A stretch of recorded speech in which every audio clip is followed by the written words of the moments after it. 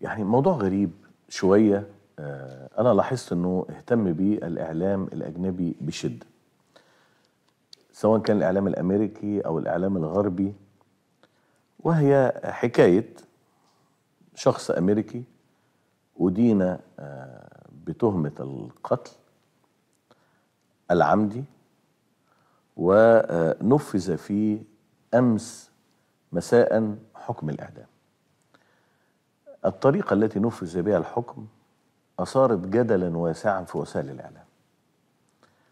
وهنستغرب إن هو بينفذ فيه حكم على جريمة ارتكبت من أكثر من 30 سنة أو يمكن 40 سنة كمان. مسألة محيرة جدا. لكن الواحد آه، يعني حاول إن هو يقرب من الموضوع لأنه بالفعل له دلالات مهمة جدا آه، في عالم التفكير على مستوى العالم وما يحدث آه، في حتى كمان طريقة التعاطي أو التعامل ما بين الإنسان والقانون في مجتمعات مختلفة.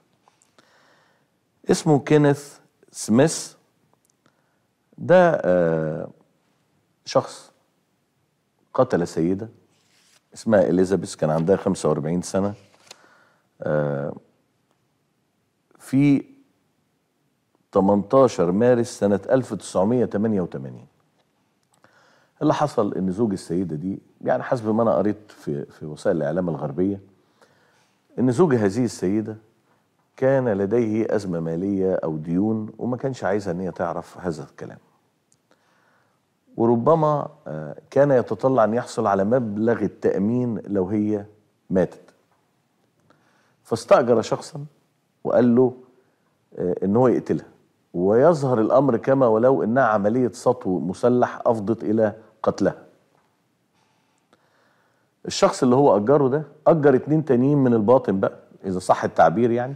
منهم الشخص ده اللي هو كينيث سميث على أساس إن هو يقتل هذه السيدة. وبالفعل في التاريخ المشار إليه اللي هو 18 مارس 1988 قتل هذه السيدة بطعنات عدة طعنات في الصدر والرقبة أودت بحياتها. المهم إن زوجها ده هو نفسه انتحر بعد أيام قليلة من مقتل زوجته.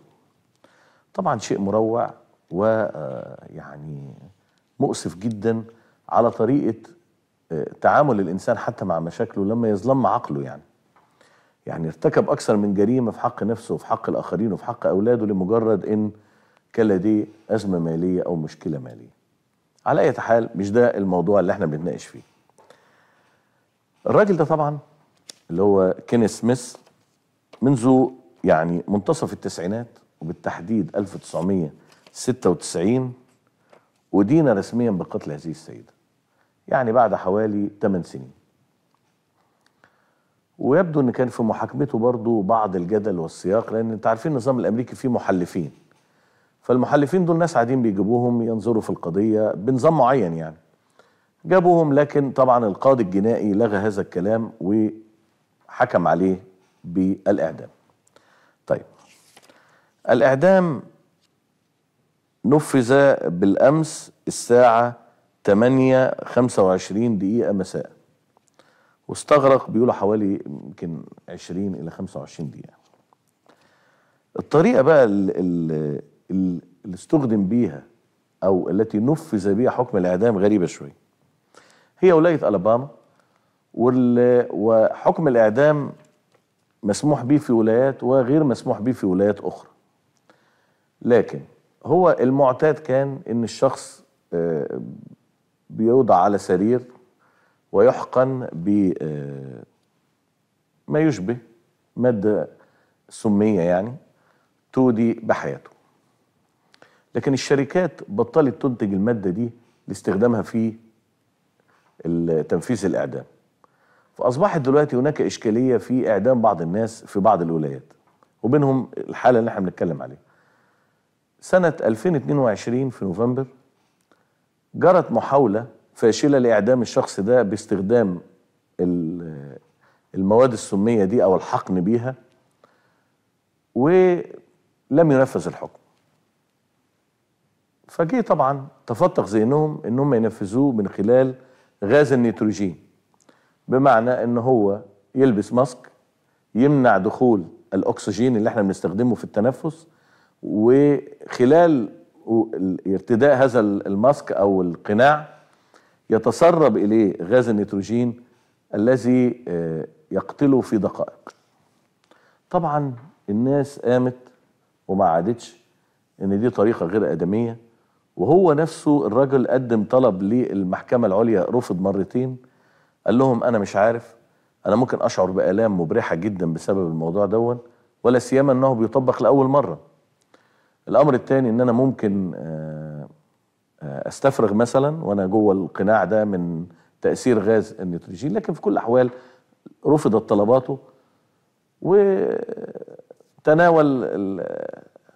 وجبة هو طلبها من اللحم وأشياء أخرى كانت وجبته الأخيرة ونفذ في الحكم ويبدو أو على ما يبدو أن طريقة التنفيذ لم يترتب عليها مشكلات في ضوء المنشور واللي أنا قريته آه، امبارح والنهاردة آه، في الصحافة الغربية. طبعا الناس طبعا بتتكلم بقى على الآدمية وطريقة التنفيذ طب إيه الحكاية؟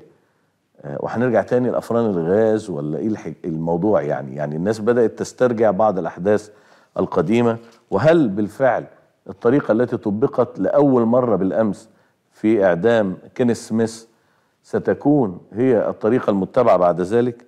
وناس كتير عمالة تتكلم أساسا على رفض عقوبة الإعدام أصلا باعتبارها عقوبة غير آدمية فيعني جدل كبير جدا أحيط بالموضوع ده ولكن في وسط الجدل دي ابنة إليزابيث القتيلة قالت لهم أنتوا عمالين تتكلموا في كل حاجة ونسيتوا الضحية نسيتوا والدتي التي قتلت سنة 1988 قتلا عمدا مستأجرا أودى بحياتها بسلسلة من الطعنات وهي كان عندها 45 سنة في ذلك الحين.